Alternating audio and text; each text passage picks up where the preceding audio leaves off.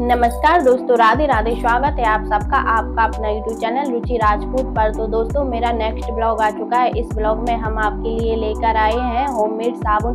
तो दोस्तों, आपने अभी तक मेरे जितने भी ब्लॉग देखे थे, वो सारे ट्रैवलिंग ब्लॉग थे। इस ब्लॉग में हम आपके लिए लेकर आए आप कैसे नेचुरल तरीके से घर में बहुत ही आसानी से साबुन बना सकते हैं और ये साबुन बहुत ही नेचुरल होगी। इसमें कोई केमिकल वाला प्रोडक्ट नहीं होगा। तो दोस्तों, इस ब्लॉग में हम आपके लिए लेकर आए हैं कि आप कैसे होममेड साबुन बनाए। अगर आप भी मार्केट की साबुन लगा लगा कर बोर हो चुके हैं तो इस ब्लॉग को ज़रूर देखिएगा। इस ब्लॉग में हम आपको बताएँगे कैसे आप नेचुरल तरीके से और बहुत आसानी से साबुन बना सकते हैं। तो ब्लॉग को लास्ट तक ज़रूर देखिएगा। ब्लॉग में हम आपको बताएँगे इस साबुन को बनाने के लिए आपको कौन कौन सी सामग्री की ज़रूरत पड़ेगी और उस साबुन को आप कैसे बनाइए। तो चलिए चलते हैं आगे की ओर और, और ब्लॉग को आगे बढ़ाते हैं। तो दोस्तों, सबसे पहले हमें इसमें हरी नीम पत्ती की ज़रूरत पड़ेगी और इसमें आप हरी नीम पत्ती ही ऐड करना, सूखी पत्ती का उपयोग नहीं करना। तो दोस्तों, इसके बाद में हम लेंगे एलोवेरा, जो आसानी से सभी के घर में पाया जाता है। तो प्रकार से एलोवेरा ले लें, उसे अच्छी तरह से वॉश कर लें। इसके बाद में हम लेंगे विटामिन ई कैप्सूल जो आपको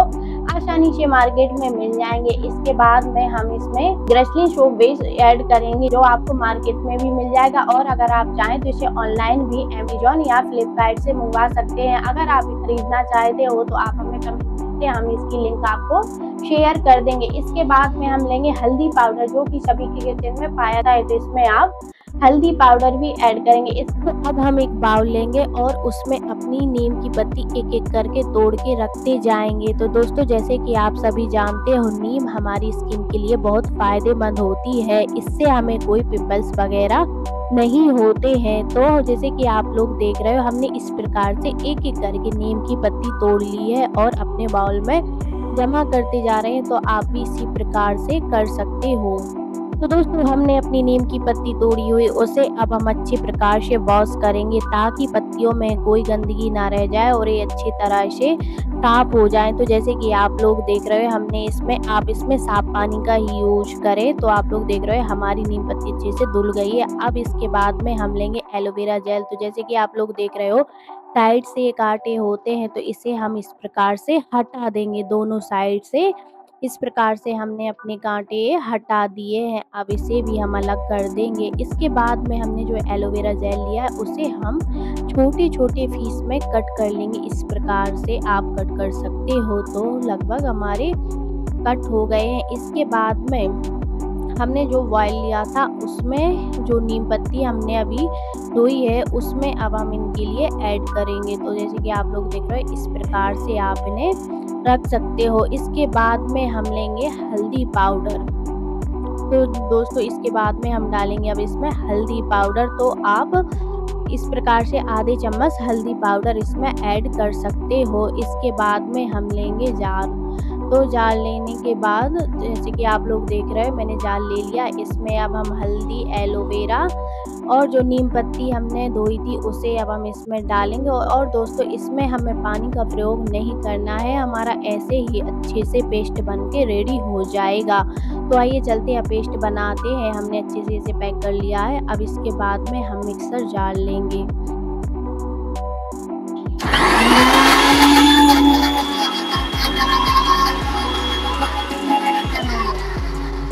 दोस्तों, अब हमारा पेस्ट बन के रेडी हो चुका है तो हमारा पेस्ट अच्छी तरह से बन गया और इसे बनाते टाइम आपको एक बात का ध्यान रखना है कि इसे अच्छी तरह से पीसें ताकि इसमें कोई पत्ती वगैरह ना रह जाए।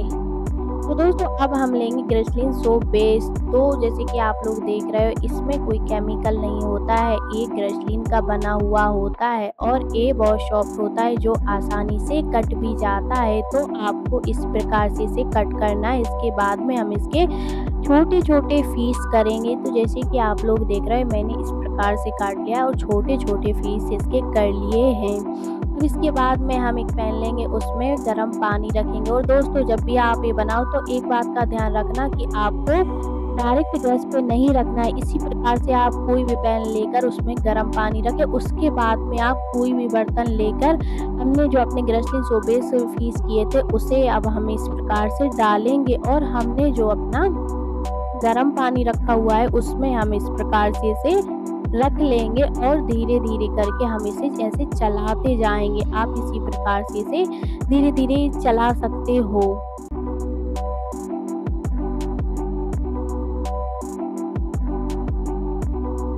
दोस्तों, आपको एक बात का ध्यान रखना है कि आप इसे धीमी आँच पर ही गर्म करें ताकि ये जले नहीं और हमने जो अपना एलोवेरा हल्दी नीम का पिस्ट बनाया था, उसके बाद हम इसमें वो ऐड करेंगे। तो जैसे कि आप लोग देख रहे हो, हमारी ये धीरे धीरे करके पिघलते जा रहे हैं तो इसे इसी प्रकार से धीमी आँच पे आप सकते हो और इसी प्रकार से आप इस पर चला सकते हो। तो जैसे तो दोस्तों, अब हमारा ग्रेसलिन सोप बेस पूरी तरह से पिघल चुका है। तो जैसे कि आप लोग देख रहे हो, ये अच्छी तरह से पूरा पिघल गया है। अब इसमें हमने जो अपना पेस्ट बनाया था एलोवेरा हल्दी, नीम का, वो अब हम इसमें ऐड करेंगे। तो जैसे कि आप लोग देख रहे हो, ये तो हल्का सा ठंडा कर लिया मैंने। इसके बाद में अब हमने जो अपना पेस्ट बनाया था एलोवेरा हल्दी, नीम का तो वो अब हम इसमें ऐड करेंगे इस प्रकार से। तो जैसे कि आप लोग देख रहे हो। आप इस प्रकार से इसमें ऐड करेंगे और इसके बाद में जो भी हमारा पेस्ट जार में बच गया उसमें हम हल्का सा पानी डाल के और फिर इसमें ऐड कर लेंगे। तो हमने अपना सारा पेस्ट निकाल लिया है। तो दोस्तों, इसके बाद में हम इसमें लेंगे विटामिन ई कैप्सूल तो जैसे कि आप लोग देखते, जानते हो कि विटामिन ई कैप्सूल हमारी स्किन के लिए बहुत अच्छे होते हैं तो अब हम इसमें विटामिन ई कैप्सूल ऐड करेंगे। तो पहले हमने इसे अच्छी तरह से मिक्स कर लिया है। मिक्स करने के बाद इसे अब हम हल्की सी आँच पे फिर से गर्म होने के लिए रखेंगे। इसी प्रकार से आप रख सकते हो। इसके बाद में मैंने विटामिन ई कैप्सूल ले लिए हैं। अब हमने दो विटामिन ई कैप्सूल लिए हैं जो अपने पेस्ट में ऐड करेंगे। हमने अपना पेस्ट हल्का गर्म कर लिया है। इसके बाद में अब इसमें हम विटामिन ई कैप्सूल ऐड कर देंगे। उसके बाद में हम इसे अच्छे से चलाएँगे और अच्छी तरह से मिक्स भी कर लेंगे। तो मैंने अभी दो विटामिन ई कैप्सूल इसमें ऐड कर दिए हैं। इसके बाद में हम इसे हल्का सा चलाएँगे ताकि ये अच्छी तरह से पूरे पेस्ट में मिल जाए। तो जैसे कि आप लोग देख रहे हैं, हमने अच्छी तरह से इसमें मिला लिया है। अब इसके बाद में हम अपनी एलोवेरा हल्दी नीम की साबुन जमने के लिए रखेंगे तो तो दोस्तों, हमने अपनी साबुन जमाने के लिए केक मोल्ड लिया है। अगर आप इसे मंगाना चाहें तो आप फ्लिपकार्ट या अमेजोन से ऑनलाइन भी मंगवा सकते हो। अगर आपके पास ये नहीं है तो आप इस साबुन को कटोरी में भी जमा सकते हो। हमने इस प्रकार से अपना सारा पेस्ट डाल लिया है। इसके बाद में हम इसे दो से तीन घंटे के लिए फ्रिज में रखेंगे तो लगभग दो से तीन घंटे में हमारी साबुन बन के रेडी हो जाएगी। तो जैसे कि आप लोग देख रहे हैं, हमारा सारा पेस्ट इसमें बन गया है। अब इसके बाद में हम इसे दो से तीन घंटे के लिए फ्रिज में रख देंगे जमने के लिए।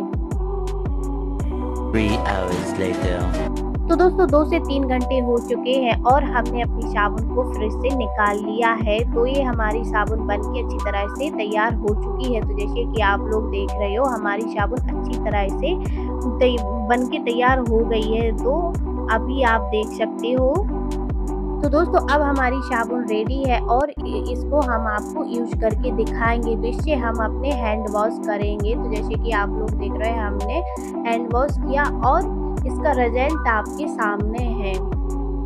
तो जैसे कि आप लोग देख रहे हैं, हमने अपने हैंड वॉश किए हैं। अब इसे हम अच्छी तरह से धो लेंगे। तो दोस्तों, अब हम इसका आपको रिज़ल्ट दिखाते तो जैसे कि आप लोग दिख रहे हो, हमारे हैंड बिल्कुल क्लीन हो चुके हैं।